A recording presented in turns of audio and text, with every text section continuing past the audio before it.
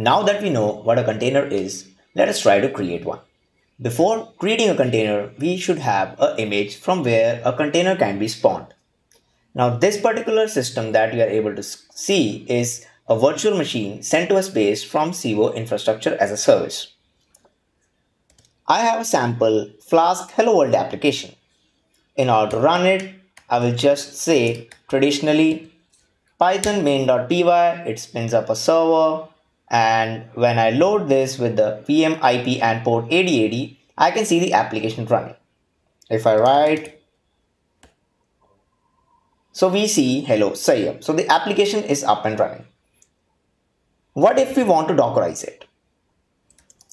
So if we want to Dockerize an application and create an image out of it and then spin containers on different environments, we need to write a Docker file. Docker file is basically a set of instructions that are there to tell what a image should be comprising of, including the application code, its libraries and dependencies. So I already have a Docker file created. Let's go through each and every step of the Docker file. So the first instruction is from. From is basically telling which base image we have to use. So all the concept, layering concept comes from here. So this will be the initial layer that we have the base image. Now, as a best practice, make sure the base image that you are choosing for creating Docker file should be verified so that you are secure from the vulnerabilities. Next command is the copy instruction. So copy will actually copy the current directory's code into the slash app directory of the image, base image that you have taken. Then the work directory. So it is, it is basically switching the directory to slash app. Run instruction will run this particular command, which in this case is pip install flask. Now, if you are traditionally working on a server, you will do pip install flask. Similarly, if you want to run that inside image, you will write run instruction for that particular command. If you have multiple commands to run, then you should have this symbol that I'm typing on the screen so that you can attach it on a single layer. If you have multiple run commands, then it will result in multiple layers and in thus increasing the size and the complexity of the image.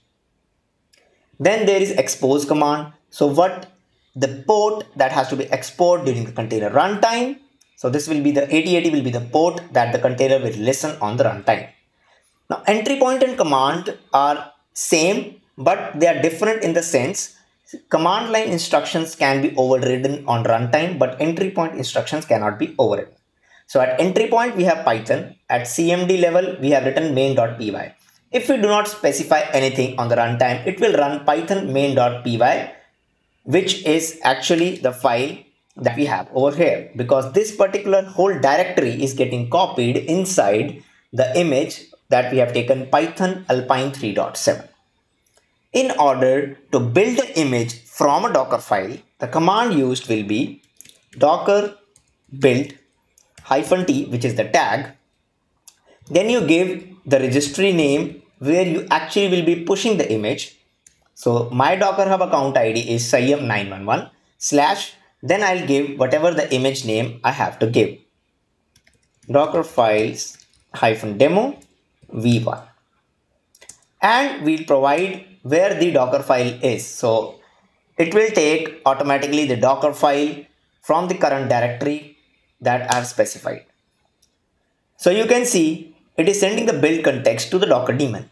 In the step 1 it pulls the image alpine 3.7 copies the current directory to the slash app inside the image, then switches to the slash app directory. It runs pip install flask and now it has installed actually flask. Then it is exposing 8080 and it created the entry point and the CMD. So the image is success, successfully built. Now if we see docker image ls. So this is the command to view the images on the system. So this is 16 seconds ago, I have created a file image called sayam911 slash dockerfile hyphen demo and tag. Now, if we don't specify the tag, then the tag goes as latest. So in order to keep the changes tracked, it is important that we have all the tagging in place. In order to run a container from the image, the command will be docker run hyphen it means in the interactive mode, the image name, sayam911 slash docker file demo colon v1 the tag. We will give the port as well because this particular application is expecting a port so the left side will be the host port and the right side one will be the container port and we have exposed already 88 you can see the Flask server has already started and it is running on localhost 8080 which in case we go back again and you can see the application works again. This time the application is working from a container. Now if I control C and I see docker ps, I do not see any container. So the container gets exited because I was running in interactive mode and the application also no longer is there. If you want to run the container in the detached mode and continue working with your development environment, we can use the same command and we can remove hyphen it and put, put d which is the detached mode. So let's run this. So it gives me the container running with the container ID. So this is the full container ID and this is the short container ID. And you can see the command that is getting used is python main.py and it is created five seconds ago the other command, the newer version is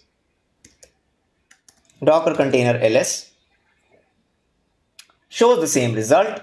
So you can see the container is running. If you want to list the, all the containers that were running and exited, docker ps-a. So you can see there were few containers that we ran and those were exited. So it will show you all the containers.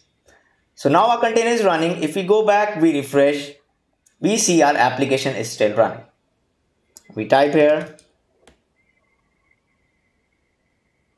and our application is up and running. So we have dockerized a Python image, a Python application in an image and we have actually ran the code from a container. So we have ran the application from the container and the container is spawned up from the image that we just created. So if we do docker image ls we have used this particular image to spawn the container. That's it for this lecture. See you in the next one.